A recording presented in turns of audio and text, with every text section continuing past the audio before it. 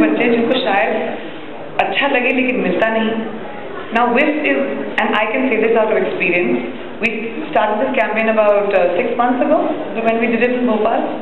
Uh, about six months ago when I when I got first in, in, introduced to it. And it was such an easy concept because in my lifestyle, and I'm speaking just for myself as a woman today, I have a crazy lifestyle. I work 16 hour days, I'm traveling up and down around the world, and I don't get time to eat. I don't get time to be nutritionist myself. I've been having this pill for the last six months since I launched it. Every week I've been having it. I haven't fallen sick. I haven't felt weak. I haven't felt unhealthy, and my lifestyle is very unhealthy.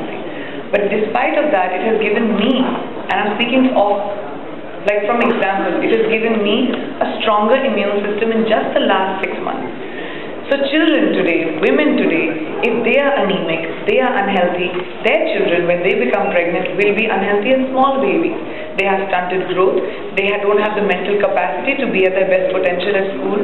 So this, I think, with, in association, of course, with the government of India, who has taken this initiative in such a big way, free pills available in schools, free pills available in Anganwadis for anybody who wants to have it.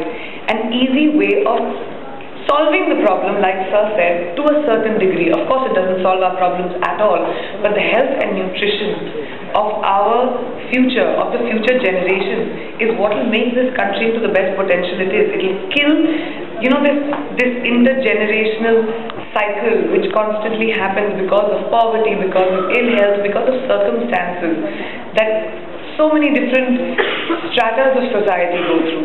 But having this one blue pill every week, it helps you solve your problem and make you the best at your potential. My focus, my belief, my, my way of functioning has increased so much and I highly, highly advocate it. I'm so fortunate that I've been able to be attached with UNICEF for almost a decade.